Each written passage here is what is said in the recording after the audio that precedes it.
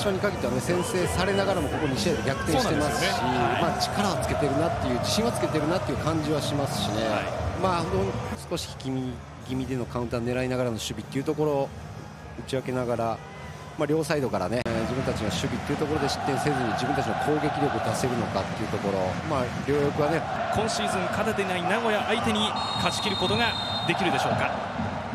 今ゲームが始まりました柏のキックでゲームが始まります。高峰が左にポン右にポンと蹴っていきました。予想通り並びもスリーセンターもおそらく右に内田になっています。上げたところマテウス・サビオのボレーだ！まあ、立ち上がりできましたね。中山のところはサビオが取った。白井前スペースがある。細谷細谷反転三國の対応ですが最後小山津のフィニッシュです。その永井が裏への動き出し山岸もそれに対応しますが、うん、相馬から山岸高峰が取ります。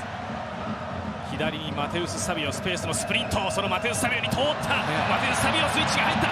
運ぶ走る。マテウス・サビオ!先制柏レイソル柏のナンバー10今シーズン7点目。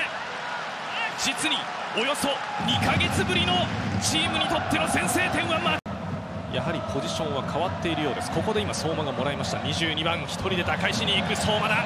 相馬が運んで森島。森島のマイナス相馬だナイスキーパー松本。小山津が呼びます。細谷がもらいます。また抜いた。細谷。白井が絡んで小山津マイナス白井。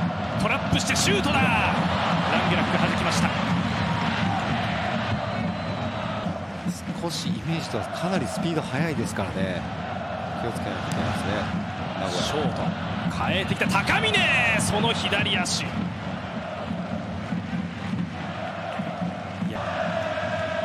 セットプレーは得意としている名古屋グランパス。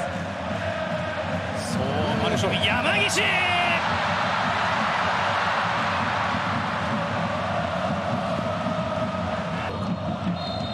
ここで飯田主審が前半終了のホイッスルを吹きました。1対0柏レイソルが1点リードです。放送の解説は梶明さんです。今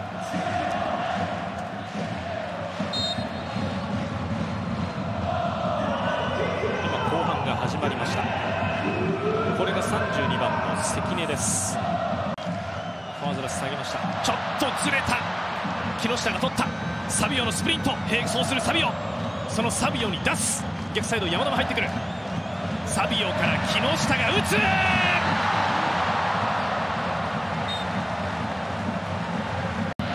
もう一度コーナーです。J1 で223試合 J2 で23試合 J3 で4試合。250試合目の山中の左足のキックです。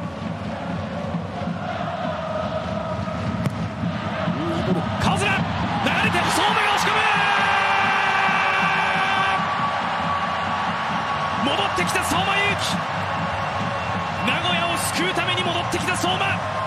救世主現る。見事な見事なホームゲームでのゴールということになりました、まあ、柏としてはこの勢いに乗ってるこの名古屋のこの攻撃っていうところ、はい、山岸コントロール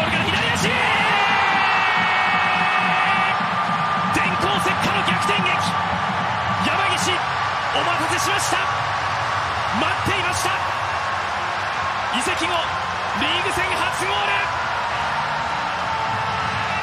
狂喜乱舞の豊田スタジアムです。投入されました。10番です。長いボール入れる。セカンドはサビオ左でジエゴ。ボックスの中垣田と木下。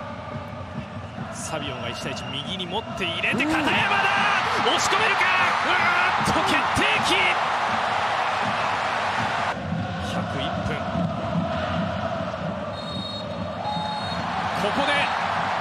合終了のホイッスルは長いトンネルを抜けた名古屋グランパス連敗ストップのホイッスルです。